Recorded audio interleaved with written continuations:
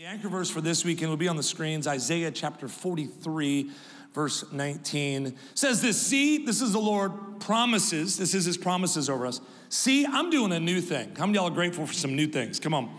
This isn't recycled, this isn't refurbished, it's not borrowed from yesterday.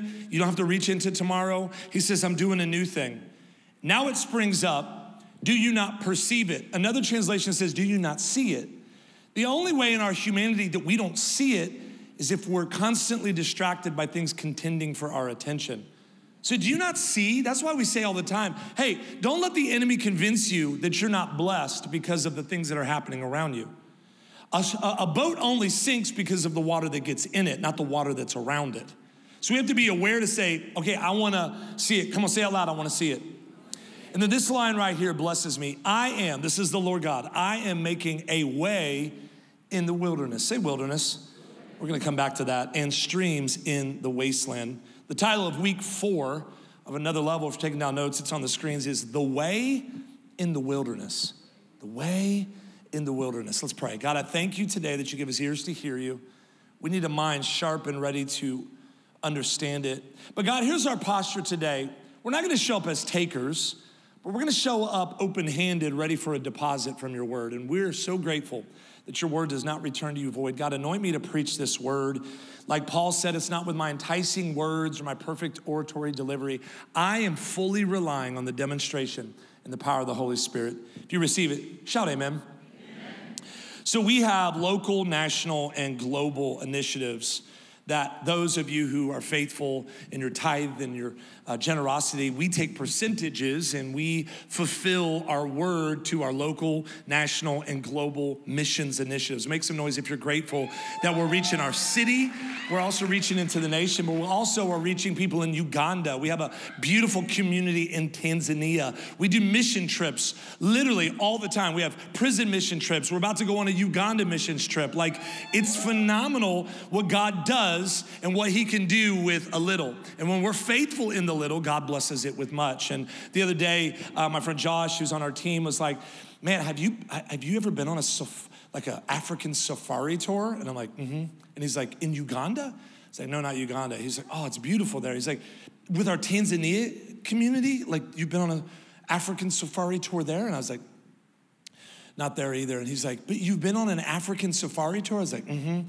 And he's like, where? And I was like, it's an African safari tour in Arcola, Illinois. Come on, somebody.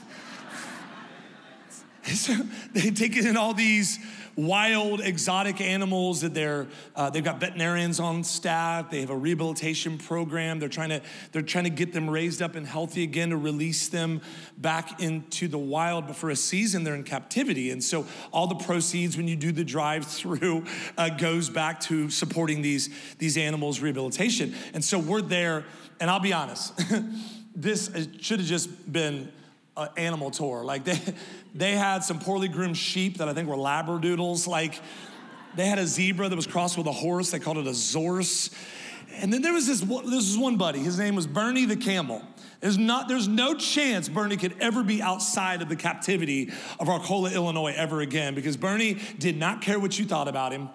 He would walk in front of your car and just stop in front of you and look at you like, yeah, this is happening. Like, I'm not gonna leave. And so the entire time, we were just like, this is awesome. And then I'm the dad who's gonna end up on a reel because I, I rolled both windows down and locked it so the kids couldn't roll it up. And the animals were like, ah, and the kids were like, ah. And she's like, roll the windows up. I'm like, this is great, video it. Um, sorry, so I unlocked and then I rolled them up. And this, but Bernie came over to my window and he kind of banged his face. He's like, boom. He's a big camel. He's banging his face against my window. I was like, has anybody got a Kit Kat? Like, I don't know what you feed these things. Like, I was like, no, Bernie, what are you doing? And he's like banging his nose into my window. And then while making eye contact with me, he never broke eye contact, he proceeded to try to bite my driver's mirror off the Yukon. And he was just like, like, ah, and I was like, this is unbelievable. some of y'all like, this story's unbelievable. I don't know why we're talking about it. Because the entire time we were there, I couldn't shake the feeling that Bernie and these other animals didn't quite fit in to this captivity. They didn't quite fit into the Arcola, Illinois safari tour drive through. And if you're the owner watching, it was a fantastic time. I just, it's a wonderful experience. Here's the truth The truth is, once these animals have been placed in this captivity after a period of time, they can never be released back into the wild. Because the efforts to train natural instincts that only happen when they're in the wild, the independence that they need taught, the time consuming, resource intensive, way too costly to make it even possible is not something that's worth it. So they keep them there for a long time. Some of y'all are like, please tie this into the message. Here's my question for you What cages has the enemy tried to build around you to try to prevent you from being released into the full scope and capacity that God has destined you to walk in? Because once you have been bound and shackled and you've been in captivity for a while, sometimes in a twisted way, captivity can feel like comfort. So sometimes you end up gravitating back to that toxic relationship and you're like, yeah, I get it, but at least I'm not alone. You end up gravitating back to the thing that used to hold you captive and bound, like that club life, and you're like, yeah, I have a fever, and the only prescription is to dance. But you know it leads to other things, and you know you shouldn't be there, but hey, at least I have a little bit of a community, right? So today we're gonna be talking about the wilderness. Say the wilderness. Some of you are like, wow, this is really, really heavy. But the truth is this here's the good news there's absolutely no problem that we will ever encounter in our lives that God, in His unfailing kindness, has not created a solution for. Somebody should give God praise because here's the truth the topic is heavy, but we are not without hope. Because when we simply call upon the name of Jesus as sons and daughters, that's when everything changes. I was with my boy Brandon Lake the other night at his uh, concert that he had at 713 Hall. And Brandon said something that I loved. And, and he said, you, you realize that, that God doesn't have any grandkids. We're all his kids. From the youngest to the oldest, he looks at you as his own. And maybe you came in here, maybe you came in on broken pieces. And our prayer this weekend is that you would leave with the peace of God, that you would swap out the broken places for the breakthrough that God can do in your life. We have a God who spares no expense no effort and wastes no opportunity to see us restored and rehabilitated from the areas of our lives that maybe the enemy has been trying to hold you captive in. Look at this promise in the word, Galatians 4 7 on the screens. Now you are no longer a slave. That's good news. Another translation says you are no longer held captive, but you're God's own child. And since you're his child, God has made you his heir. There's an inheritance connected to you. You, you, you are claimed by him. Have you ever like been somewhere and like you're like you're supposed to have VIP and you're supposed to get in and you were on a list to get in and then people are like, what's your name? Mm-mm, I don't have you on this list. Nope, you're not supposed to be. And then somebody walks around the corner and says, oh no, they're with me. And that ever happened to anybody else?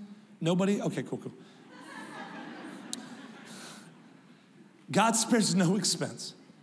He will not, listen, he, it says that, that the good shepherd, this is where the parable comes into place and says that the shepherd left the 99 to go after the one. He sent his only son to hang on a cross for you because he said you were valuable, because he said you were worth it. And then he wants to show up and fight for us to help us be released from captivity, not just back in the wild, back into the wild where we don't have the instincts for things that we're not prepared for but God wants to equip us with what we need and release us into our purpose, our future, our inheritance, the supernatural favor that belongs to us. Why? Because Jesus paid for the for the entire tab in full and, and often in his kindness. This is key though. It requires a season that we like to call rehabilitation or restoration, but that God would call the wilderness. All throughout the Bible, because in our humanity, we're like, hey, real quick, can I just opt out? Can I just click the thing and unsubscribe from the wilderness seasons? But the truth is, if you want to go from here to a place called there, there is a middle season. And oftentimes, it looks like the wilderness. Look at the person next to you and say, it's getting a little heavy. I'll be honest, it's getting a little heavy. Normally, he's funnier than this. Normally, he's a little funnier. So I'm gonna talk today because I love, how many y'all are Bible nerds? Like you love to dive deep into it. You're like, I would say I'm a theologian. I mean, maybe a little bit. Like, now, how many y'all like enjoy the Bible like you? Some of y'all are like, I read it, I do, and I'm learning, and I'm a student of the Bible. I'm gonna go a little biblical history today, go into the biblical lineage of some things. And today we're gonna be talking about the Israelites in the days of Moses and the faithfulness that God displayed through them as he brought them from one level to another, one promise to the next. For many of us today, I believe if you will turn, tune your ears in, you will be able to find yourselves in today's text. And this weekend, I pray that if you hear nothing else, that you would leave with a shifting of a mindset that says, I'm just constantly, Pastor Daniel, living in a constant state of valley moments. Like not valley girl moments, like, ah, oh, that's awesome. I'm like valley, like valley and mountaintop, but you're in the you're in the valley. Like I feel like I'm always in a perpetual wilderness. How many y'all have been in a wilderness for a minute? Come on. How many y'all just got out of a wilderness? Okay, cool. Well, get ready because you're probably about to enter another wilderness. And I'm gonna show you how God moves in the midst of it. Because watch this. Sometimes it's on the screens, a miracle mindset is only experienced through a wilderness moment. The things that God has equipped Pastor Jackie and I and our kids with is not typically on the mountaintop moments, it's typically in the wilderness moments. It's typically equipping us with some of y'all, let me, let me say it this way Isaiah chapter 40, verse 31 says, Those that wait, look for, expect, and hope in him will gain new strength. Goes on and talks about how you will run and not grow weary. How many y'all love this verse? You will walk and not faint. Some of y'all came in this weekend ready to faint, and you're gonna leave here this weekend ready to fight. And you're gonna realize that God is equipping you and giving you everything you need not to just survive life. I'm preaching better than you're responding. He's not just equipping you with things to survive life, but to thrive in life. And the truth is, it's all about perspective and how God works in the midst of the wilderness. So let me set this up Exodus chapter 2, verse 23 and 25. It's pretty self explanatory. During those days, the king of Egypt died. The people of Israel groaned because of their slavery and cried out for help. Their cry for rescue, they were under the regime of some wild kings and dictators. Their cry for rescue from slavery came up to God, and God heard their groaning. God remembered his covenant with Abraham, with Isaac, and with Jacob. God saw the people of Israel and God knew. So, to give you some context here in biblical lineage, we see that God made a covenant with Abraham to make him the father of many nations. How many of y'all know that story? Okay. Abraham gave birth to two sons with two wives. God chose to bless the lineage of Isaac. Isaac had a son named Jacob, who God later changed his name to Israel, and Israel was blessed to be fruitful, and a nation was born from Abraham and Isaac and Jacob's lineage, but due to their disobedience, that's key. Due to their disobedience, I say this all the time obedience isn't always fun, but it is always fruitful. It's not always fun. Like choosing the path of integrity, choosing the path of good character, choosing the path, the path of obedience, sometimes uh, it's not that fun, but it is fruitful. You may not see it instantly, but in the span of your life, you will see the hand of God navigate over and over and show up and have his faithfulness revealed. But due to their disobedience and disregard of honoring God's covenant with them, they found themselves placed in captivity rather than walking in the blessing of God's provision. And y'all, for biblical like context purposes, this captivity wasn't short. Some of you are like, how long was it? A couple hours and they got bailed out? It was for 430 premium years. That's a long time.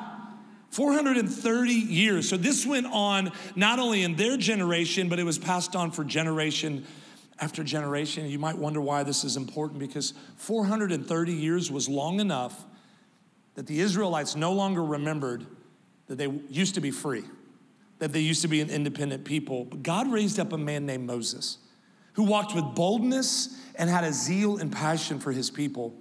And side notes again for you Bible geeks in the room, Moses, after fleeing Egypt, was placed in exile for 40 years. God literally placed him in the wilderness, in exile, for 40 years before he ever came back to lead the Israelites out of captivity. What's fascinating about this is that Moses spent 40 years in the wilderness before the Israelites ever did. God placed Moses, his chosen leader, in the wilderness because he, know, he knew if I could equip him now, then he'll know how to lead them later. So Moses could lead the Israelites. Even though they were going to wander and wonder what's next, Moses could walk with confidence where the Israelites would only see chaos. Dr. Hagin said something so prolific in a conversation. He said, You know, in your lifetime, you will pass over the same dirt twice. One time, you'll pass over it to learn. The next time you pass over it, you'll be equipped to lead. How many guys that's happened in your life? I know Pastor Jackie and I, now being married almost 20 years, well, next year, I'm kind of getting ahead of ourselves. it's just been 19 and some change, but still, 22 years best friends. I remember throughout the years, we've had a lot of wilderness moments. We've had moments that felt like, Where are you, God? But you know what happened in those seasons? God equipped us with weaponry we didn't have. He equipped us with tools in our toolbox that we didn't know we needed. It's like walking in and you have a Phillips, but you needed a flathead. I would like to say uh, I had a banner year coaching my son Fox's T ball team, but we might have gotten third place. I know, that's what you guys say, oh. And then somebody should shout out, don't stop coaching though. Thank you. All right, guys, I'll do it again next year. Okay, anyways, somebody broke the tee. There's two tees. There's one on the championship field that is like a phenomenal tee. And then our third and fourth place game over here, the tee was like laying on its side, like, nah, I'm not even gonna play anymore. Y'all are not that good. And we could not fix it. bolt was stripped. Why are you telling us this? One of the dads on the team said, I think I have an idea. I have a tool for that. He was equipped in that moment where we were almost gonna have to throw in the towel, or I was gonna just volunteer somebody to hold the ball. and hopefully, bink, not get hit with one of those metal bats. These kids are like herding cats. Like it's, it's a lot. Um, anyways, so he comes back with some screws and a drill, and we permanently mount the tee to the base. And he's like, That's not going anywhere. And I'm like, Yeah, and they're gonna have to throw it out afterwards because it's, but it worked for the game. Amen. And the rest of the games. Okay. But in the wilderness seasons, in the seasons of exile, in the seasons where you're wondering, God, what are you doing? He's equipping you with tools for the future. He's equipping you with what you need that you will have access to later and say, Ah, I've been here before, and he gave me a weapon for this moment. He gave me a spiritual weapon of wisdom and clarity and direction and discernment, which we need a lot of. So he put Moses in a place to walk in confidence so that he could lead the Israelites out of this broken place who only saw chaos. I felt this strong putting this sermon together for all the parents in the room. Wave at me if you're a mom or a dad. Come on. Maybe God has entrusted you to a season so that you can be a guide instead of just a guardian. Instead of just oversighting what God has called you to, maybe He's also going to speak prophetically through you to help guide and navigate because, hey, look at me, I've been here before. That heartbreak that seems like it's going to ruin your life at 14, I've been there. There's something about walking through things and growing through them, not just going through them, but growing through them I, every week we help somebody, young parents, somebody with a new baby, somebody that's walking through a situation. And yeah, we haven't we haven't lived 40 years of marriage yet. We're still learning from those people, which is amazing. But what we have been equipped with in wilderness seasons and just a thing called life, we have tools and weaponry now to be able to speak into others. How many of y'all are grateful for mentors and people that can speak into you and then you can pour into others? Businessmen or businesswoman in, in the room, maybe God has entrusted a difficult process to you right now so that you can be equipped to sustain the livelihood of employees that God's entrusted you with in the midst of the fear and the whisperings of economic uncertainties. Maybe God has equipped you. I love talking to people. My grandpa, and uh, I was talking to an older gentleman who was around my grandpa's age, and he talked to me one day about the Great Depression. Some of y'all are like, what's that? Google it. It's wild the different economic struggles throughout history. And he had this, I've seen this before. Yeah, it looks a little different. It's represented a little different because of social media and TikTok and all those things. But when you've seen the ebb and flow of struggle, and you've not only survived it, but you came through it on the other side of it, you can say with confidence, hey, this too shall pass. Not only because the word says it, because you've been through it before. Now, will avocados continue to be like $9 a piece? Probably leader in the room, maybe the seasons, all the leaders in the room, maybe the seasons that you've gone through of isolation, of challenges, of emotional difficulty, even days of lack. Maybe they've been necessary to your calling so that, like Moses, you can lead a people from a, from, into a miracle mindset and lead them into a heavenly perspective. That even though we're going through it, look at me, we're gonna choose to grow through it. Elbow the person next to you and say, I'm, I'm growing. and it's uncomfortable, but I'm growing. I tell our oldest son this. I said this last or two weeks ago. My son's 14. He's like, "Oh, I'm just hurting. My legs are hurting. My arm is just hurting." I'm like, "Buddy, you're growing. Like, he's growing so fast. Like, he's already passed his mom up at, at a young. I'm 6'4". At a young age, he, they told us he was going to be like six seven. So he's growing. And he's like, "Do you ever feel like this?" I said, "What's different? Like, if I sneeze now, I throw out a rib. Like, it's." is different. Okay.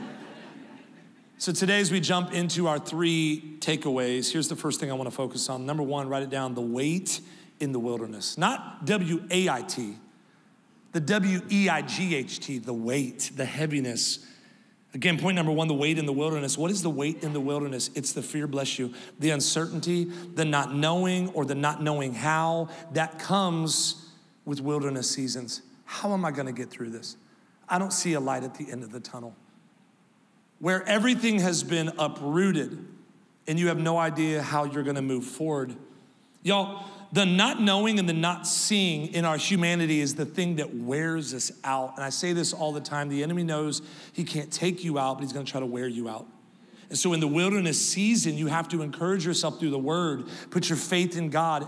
And going back to the anchor verse, knowing that God is making a way in the wilderness. He's springing up fresh water in the dry wastelands. I remember a beautiful wilderness moment. We had the opportunity, my lovely bride and I, to uh, go snowboarding. Where's all the skiers in the room? Come on. I'm proud of you. That's phenomenal. I, I couldn't pick up skiing, but how many y'all snowboard? Like, okay, not as many. Okay, great. We got, okay, perfect. So we picked up snowboarding pretty quick. She was like an X game pro. Like, it was shocking how fast she got. She's like, this is really easy. She's like, this is, I'm like, because when I fall, it's a, it's a far drop. Like it's, it's, and so we, we got all this training and we were ready to go. But intermediate, novice, expert, professional, I would put her in the novice to a little higher. And I, I was still on like, well, how many more times are we gonna go down this bunny ramp one before we can go up there? And so we met with some friends and they were ridiculous. Like they had like matching outfits and they said things like, oh, it's awesome. Like we had a nice dusting last night, 50 inches of dust on the ground. I'm like, it's ridiculous. And so we get on the ski lift and it's taking us up and I'm starting to feel a little like, like we're getting really high. Like we, we've never been up this high before. And I'm like, I'm like, are you starting to have a tough time breathing. And she's like, it's the altitude, but we're gonna go down. I'm like, how you go down? Like, what do you mean? I can't catch my breath. Can't catch my breath. And then in snowboarding, for those of you who know, you keep one foot not uh, hooked in and you keep one hooked to the board. And I don't know what happened. I feel like this ski lift was moving a little faster. Like they had a new guy on there that cranked it up because I'm watching everybody like jump off, and even people that were good were still having a little problem. And I said, I'm gonna bite it. I can already tell you right now. And I dug the front of my board into the snow and it launched me and I just, boom, hit the ground.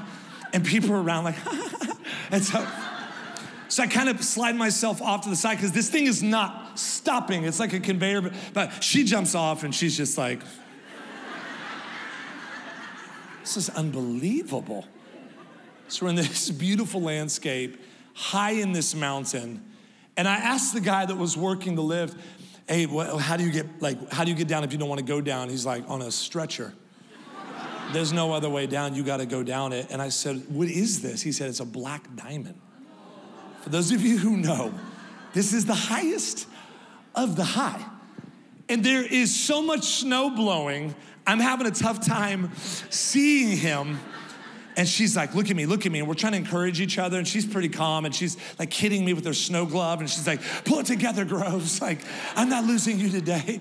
And so my puffer jacket's a little too much. And I'm just like, where are they at? And our friends were like, see you at dinner. And they just dive off the side of the mountain. They're professionals. So we took a moment to take in the beauty of the wilderness. And then she's like, we gotta go. And so we jump off the side, y'all and we are this is scary. Like we are weaving in and out and having to stop and we're like we can't get down. This is we unhooked and we tried to like walk down and we ended up deep like up here in snow. We're like this is not gonna work. And so we pulled ourselves out and at a few times though, this is key we're in the wilderness. I almost fell off the mountain. Like see you jackie. Like it was It was so crazy and took us so long to get down. What should have taken nine to 12 minutes, it, we were into the hours. The sun was starting to set. I'm having conversations like, look at me. If we die, you have to eat me. She's like, that's extreme. That's extreme. We're not even to that point yet. I'm like, but you eat me first. And she's like, opposed to what? I'm like, what are we doing? But I remember we ended up having a couple moments where the snow started to die down and the sun was diving, and I'm like, I'm gonna get eaten by a bear. I can already tell. But we just took a breath and said, God, we trust you. And we actually were encouraging each other, and we actually found peace because it was so quiet up there. And we chose to have a moment. And then we ended up finding our way back to the trail, and we found some signs, and very slowly, we made our way to the bottom, even though ski patrol was up in the mountains searching for us. And then we never talked to those people again. They have been deleted from all forms of communication. Why are you telling us that? Number two, we found the worth in the wilderness. Even in the midst of the chaos, we still were able to experience peace. We were still able to experience moments where we said, God, we see you. And God, we know that you are our protector. And here's the thing that I've learned in the wilderness seasons. Now, that was a real wilderness mountaintop moment, but in the seasons of life, one of the most amazing, reassuring things we can experience is knowing that the presence of God is present with you. You're never alone. I talked to somebody the other day and he said, Man, I just feel so alone. I said, You're never alone. I said, When's the last time, instead of getting in your car and cranking up music, you got quiet? And just said, Lord, I, I need you. He said, it's, I can't remember when. I said, try that next time. And watch the presence of God reveal his presence to you so much that you'll realize you're never alone. The worth in the wilderness is that oftentimes it will force a total dependency on God. It's a place where your ability to self provide or self secure is totally stripped away. And the makeup of our humanity, because this is what we do, we compartmentalize. You, you say, God, open handed, I can't do this in my own strength. In the history of walking with the Lord and being on this earth, every single time I've tried to do it in my own strength, things end up unraveling. Wave at me if you say you agree. Come on. Because we have a, we gotta hustle, we gotta wake up, I bet on me sort of mentality, but good luck doing that your whole life. Because it will unravel at some point, because just so you know, you're not that good, and you're not that good on your own. I know I'm stepping on somebody's toes. You're like, you don't know me. Listen, even all of your degrees is because of the breath that's in your lungs from the one who provided it. He gave you what you need the IQ, the EQ, everything you need. We have to start redirecting it back to the Lord and say, God, I can't do this on my own. And that's a really great opportunity for the Lord to step in. So, going back to the journey of the Israelites, God's plan in the wilderness was for them to regain a perspective that was necessary for them to thrive in the blessing that God had promised to deliver. Throughout this journey, the Israelites would learn some really valuable lessons. I can speak on behalf of my wife. We've learned some very valuable lessons and uncomfortable lessons. But we've also learned more about the nature of God. We've also learned more about the nature of His word and His promise to fulfill. This verse in Exodus 13 is fascinating to me and it proves that God's way is so much better. Exodus 13, 17 says, When Pharaoh, it's on the screens, finally let the people go. Pharaoh's like, You guys get out of here with his bald head. Somebody like, You know that's what he looked like? Prince of Egypt. Um, it says that God did not, this is key, God did not lead them along the main road that runs through Philistine territory, even though it was the shortest route to the promised land. God said if the people are faced with a battle, they might change their minds and go back to Egypt where they were held captive, where they were once slaves. It's like you're on Waze or you know, Apple Maps or Map, or like Google Maps, or you print off the MapQuest sheets. I don't know your life. Like you're trying to figure. How many of y'all take the one that says you can save three minutes right here? You click on that because you're gonna go the shortest route. But you know, there's been some times where I've said, I'm gonna take that shortest route, and something happened on the shortest route. A truck just fell over. tangerines went everywhere and you're stuck for hours. Some of you are like, that's very specific. It happened to me. And then they wouldn't let us take any of the tangerines. You know what I mean? Like, anyways, I was like, it's vitamin C, it's free. Okay. But God knew, and God has a purpose for the path that He chooses to take you down. And while the Israelites didn't know it yet, they were witnessing the wisdom of God on full display. But what's crazy is this in the next chapter, it says that God led the Israelites away from the shortcut, right? Instead, He placed them up against the Red Sea. How many of y'all know this story? And the sea was impossible and uncrossable. And now they've got the entire is they got the entire army under Pharaoh's regime falling into and hemming them against this area that is uncrossable. And they're looking at Moses like, now what? And they're facing the sea. Can I say this to you right now? Don't be surprised when God's best leads you to an impossible situation. Don't be surprised when that integrous choice that you made in business puts you in an impossible place. But also take heart in this God is not limited by the sea that you stand in front of. That impossible situation, y'all, we serve the God of the impossible. No, no, no. We serve the God of the possible who shows up and says, I can part these seas. I can show up and open up doors that hustling can't open up for you. I can show up and put favor on you that you will never say, Well, I just have good luck. No, you walk in fog, y'all, the favor of God. There is not a seed that you stand in front of that God can't show up and move. Fast forward Exodus 17, where we see God make water out of a rock. They're complaining, like, I'm parched, I need some aquafina. At least a deer park. By the way, how many of y'all are like a little bougie on your water? You're like, I love Evian water. Evian tastes like somebody washed their hands with lotion and put it in a bottle. It's real smooth. You're like? I don't know what's in that. And then Deer Park, let's talk about water for a minute. If you're from Deer Park, I want to talk to you because it tastes like a deer laid in the water and then got up and you're like, let's bottle that. They'll buy it. So they're complaining, we don't have any water, and God uses Moses to strike a rock and he gives them refreshment. Later on, the Israelites are ambushed and outmatched by the Amalekites, and God commands a victory on behalf of them and shows his righteous right hand and protects them. We see all these lessons that needed to be learned so that when God delivered the promise, it wouldn't come at the expense of the praises of his people. Here's the truth it all belongs to God, anyways. I have talked to our team, we talked to our kids. Y'all, we have to start redirecting all glory, praise, and honor to Him because it all belongs to Him, anyways. I love this interview they did with Brooke Fraser. Brooke Fraser wrote the song Beautiful Name. Beautiful name it is, the name of Jesus. Phenomenal song. And she said she was starting to feel overwhelmed by people that would walk up to her and be like, We love this song. I'm so glad you wrote that song. You're an amazing songwriter. Thank you for writing that song. And she said she would always redirect it, like, Oh, no, oh gosh, oh gosh, mm, no. And she said, One day the Lord said, It's okay to accept a compliment, it's okay to receive that affirmation. And she said she almost saw a vision of her receiving a flower. Every compliment was like a flower.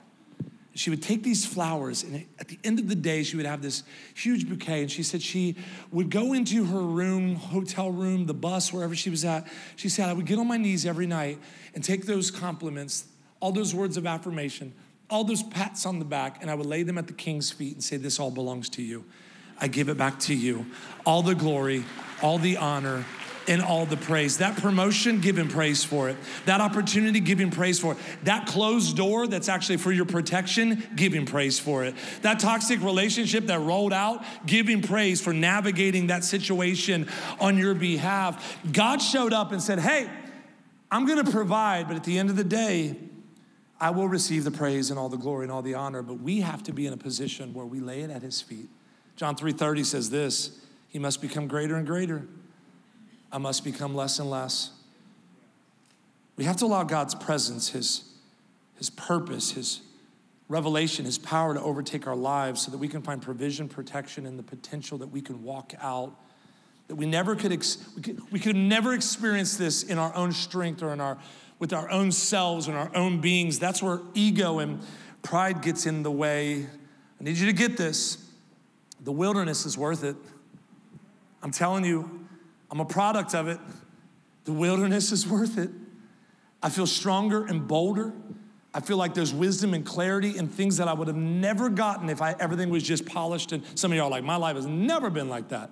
It's always been the wilderness when you're in good company because God took some of his greatest men and women of faith through wilderness moments before they came out on the other side and walked out in great victory. So give God praise. Come on. But what ends up happening, bringing this in for landing, what ends up happening is we end up living afraid. I said it earlier, in a little twisted way, we end up finding comfort in that captivity.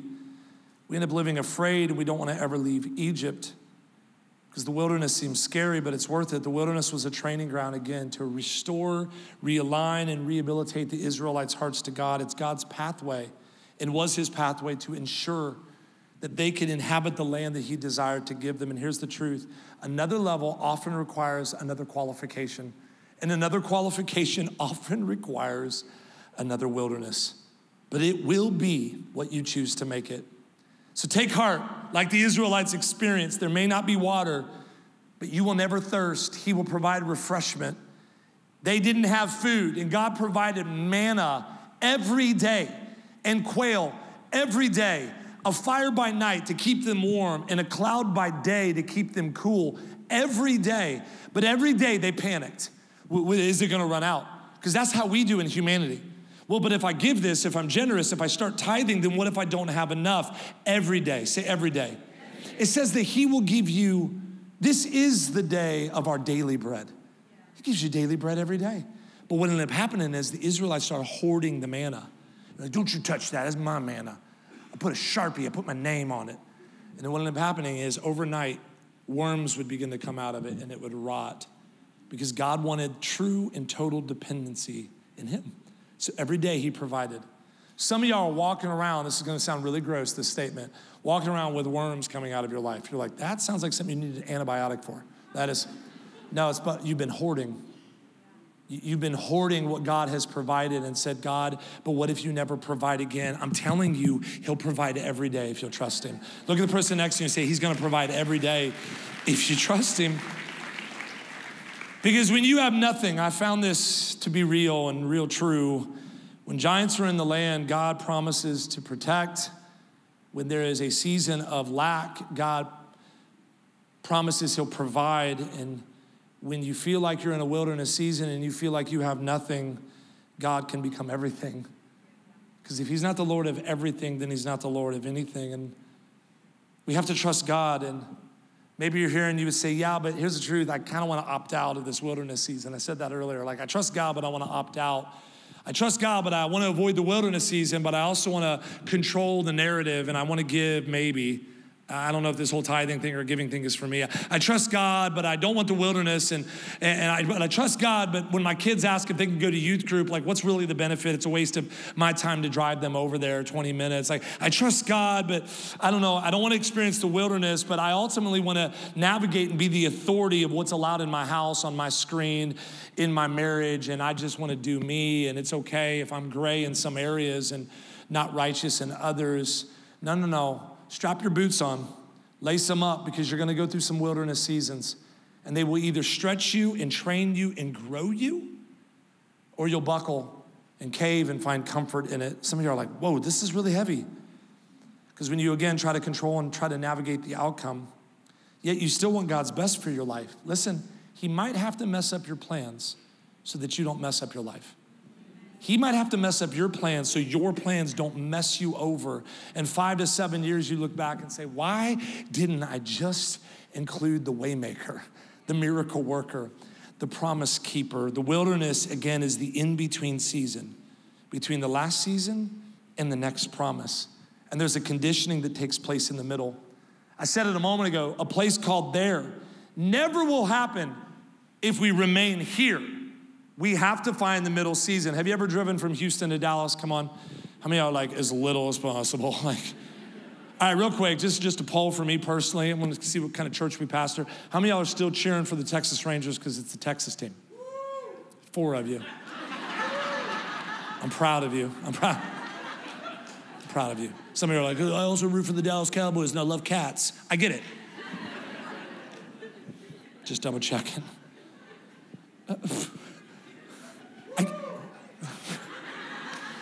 security. Okay. No, when you try to drive from Houston to Dallas, there's a lot of in betweens. And you can stop. You can stop at the largest hand dug well. I don't know if that's real. There's some other things along the way, like a 14 foot idol in the shape of a, of a beaver that we always stop at. And you walk in, you're like, I don't even eat fudge, but I need three pounds of mint chocolate fudge. And I also need two pounds of ostrich jerky. I don't know why. The in between is real, but the truth is that that journey in between that four hour drive is necessary with nothing remarkable in the middle. Sometimes we don't take that approach when it comes to life. We think when we leave a job, there has to be a job butted right up against it. We, we think that when we leave a relationship, we have to have a relationship come along right away to fill that void. That's called a rebound. But sometimes the middle season, the waiting season, the worth and the wait to see God's faithfulness in the wilderness season is actually really vital. So instead of getting frustrated and confused when the seasons don't end up right up against each other, rather than complaining and getting anxious, the response of every believer should be Lord, what are you trying to teach me along the way? Close your eyes right now and just say that. Say, Lord, what are you trying to teach me along the way?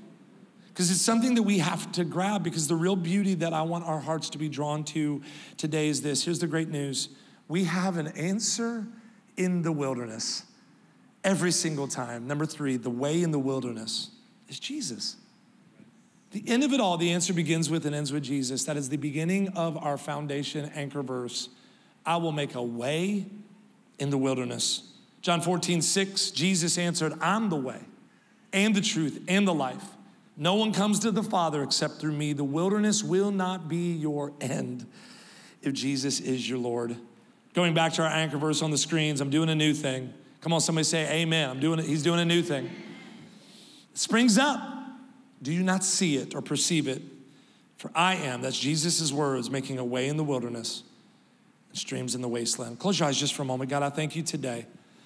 For those who are maybe in a wilderness season and there's a weight that feels heavy it's fear filled and has a lot of anxiety and restless nights connected to it. God, I pray that the weight in the wilderness is lifting and that they could see the worth in the wilderness. That they, God, could see the beauty of your amazing hand navigating it. God, that there would be no more anxiety, panic attacks, and sleepless nights. God, I pray that they redirect the weight in the wilderness to you and they see the worth. They see you equipping providing, protecting, building, restoring, realigning, and rehabilitating and us in the middle of this season. And God, I thank you that at the end of all of it, that we see that you are making a way in the wilderness, that the answer, when we rely, depend, and truly trust you, you are the way in the wilderness. Just stand your feet for just a moment. And if you're here today, maybe you're in a wilderness season and you would say, I've been wearing the weight of that. Would you just begin to lift your hands and put that in the Lord's hands and say, I'm, I'm redirecting the weight, the fear, the anxiety, the concern, the, the pressing, the overwhelming feeling like I'm drowning. I put it in the hands of God. And then I want you to very quickly, if this is the next part, you're like, I want to see the worth in the wilderness. I don't want to just go through it, but Pastor Daniel, I want to grow through it would you lift your hands? I pray, God, that they would see the beauty of all that you're doing, everything you're equipping, because you're taking them from here to there. And this wilderness season is necessary for them to grow and to become who they are called to be moms, dads, future moms, dads, grandparents, husband, wives, future husbands and wives, God, and friends and family. God, we trust you even when we can't fully track you. And God, we thank you the fear is not my future. You are, you are. You are, you are. Heartbreak, heartbreak's not my home. You are, you are. Death is not the end. You are. Come on, lift your hands towards heaven and say, Fear is not my future. Fear is not my future. You are, you are. Sickness is not my story. You are, you are. Heartbreak, heartbreak's not my home. You are, you are.